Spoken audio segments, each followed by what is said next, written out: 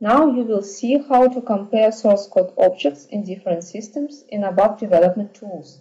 You may want to use this feature to see what has changed in the source code between different systems or even across various releases.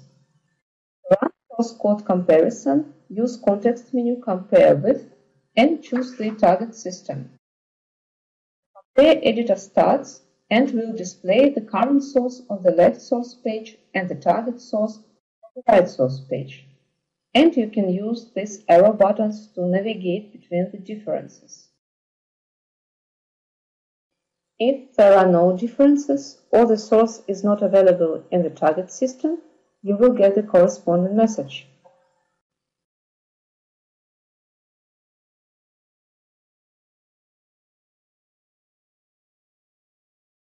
You can also view the history of version management. Just use context menu, compare with revision history.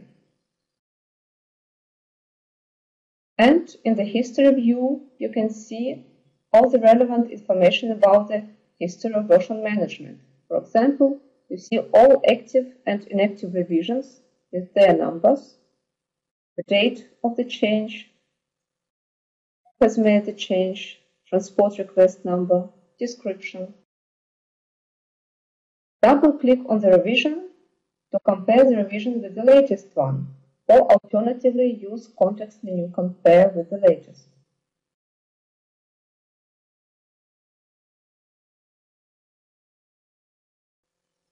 You can also select two versions and use the context menu compare with each other in order to find differences between them.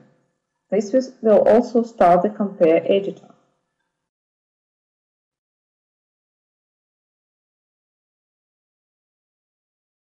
And periodically use the refresh button in the history view to refresh the version list.